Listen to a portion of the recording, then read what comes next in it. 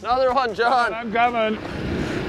Oh, there we go. Oh, another beautiful largemouth bass Yeah. there, Josh. Uh, Josh, I got something decent here, buddy. I'm coming, Got something John. decent here, man. Okay, here he is, here he is. I'm coming. Oh, oh, nice look at that, Josh. Look at All that, right, buddy. nice one. Holy cow. There we go. Took a run up. That is so interesting, folks. Three flags as simultaneously. Yeah, and they weren't popping at all. It's that funny is- how that works. Now that is a beautiful pike. Oh, look at that.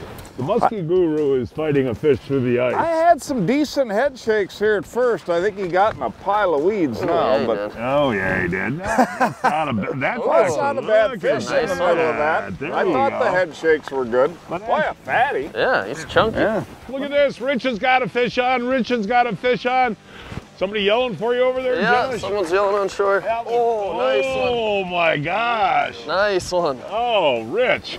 Now, we have been trying and we've been moving hole to hole. All of a sudden they start biting. Were you marking them? I marked a couple uh, right away. Uh, when I pulled it up, he shot right up to it, didn't take it, took a little work, but then he hit it. nice. Rich is banned from tip ups because he missed one. Well, if he keeps catching them like this, that's fine Yeah, with you, you, me. you keep pan fishing, all right?